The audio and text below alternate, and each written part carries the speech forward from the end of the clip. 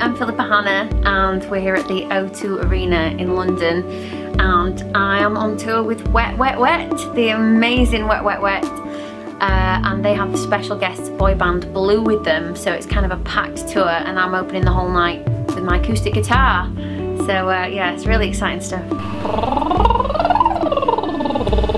It's the only way to stay in uh, any kind of vocal shape so a bit weird.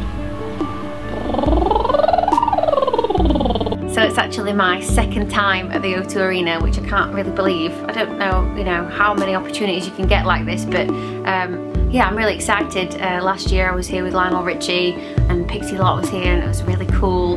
And uh, tonight it's with Wet Wet Wet and Blue, so I'm really looking forward to it.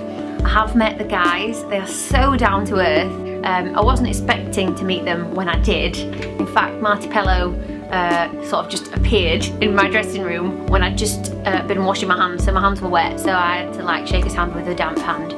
And uh, my hair was in rollers, and, uh, and when I say rollers, I don't mean like this, this looks quite cool. I mean like epic, huge, uh, unsightly rollers. So it was like, oh, that's exactly what I want to see. Um, I like to see you like this, it's the real you. And uh, yeah, he was really cool. So um, know, they're really great. It's really good to be on tour with these guys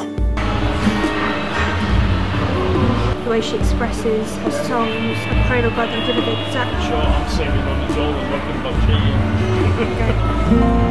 What's the title? Right. Okay. I think I know what I'm doing. Yeah, yeah, let's go.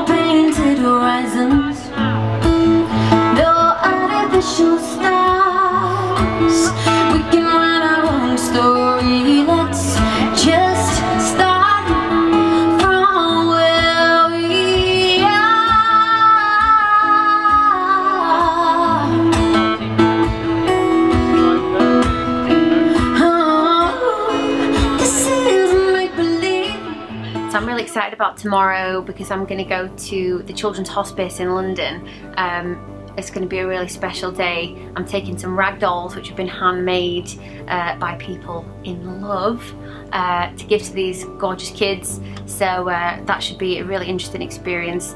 Then I have a few more dates with Wet Wet Wet and I've got some time off over Christmas which is awesome. So I'm just going to spend a lot of time sleeping and uh, dressing my dog up in Christmas outfits and stuff like that and seeing family. Um, so yeah, and then, you know, we'll be into the new year where I'll be doing my Through the Woods tour, which of course you are all invited to. You can find the dates on my website. And I really hope you guys have an amazing Christmas and amazing new year.